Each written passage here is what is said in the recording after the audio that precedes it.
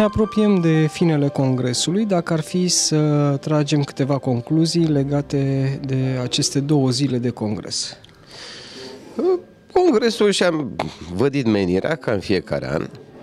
Orice congres în care corpul profesional dezbate preocupările sale, prezente și de perspectivă, putem spune că și-a îndeplinit menirea. Și în acest an, ca și în cei precedenți, avocații au fost preocupați de o seamă de probleme, printre care, după cum probabil ați observat, apărarea apărării a continuat să fie o temă ca și în anii precedenți.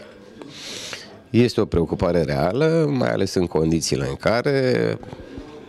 corpul profesional nu se consideră suficient de bine protejat prin legislația în materie uh, în special procesual penală, și în condițiile în care interesul public de urmărire și sancționarea unor fapte antisociale intră câteodată, din păcate, în conflict cu rolul profesionistului avocat, cu poziția lui în societate, cu menirea sa într-un stat de drept și câteodată apar unele uh, situații în care avocatul, în exercitarea în limitele legii, desigur, a profesiei sale, se consideră expus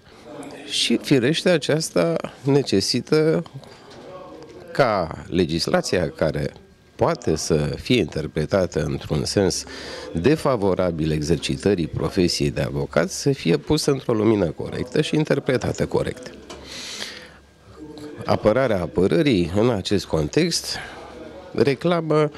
cel puțin o sumă de clarificări, dacă nu chiar și de modificări legislative, care să uh, protejeze o profesie care, uh,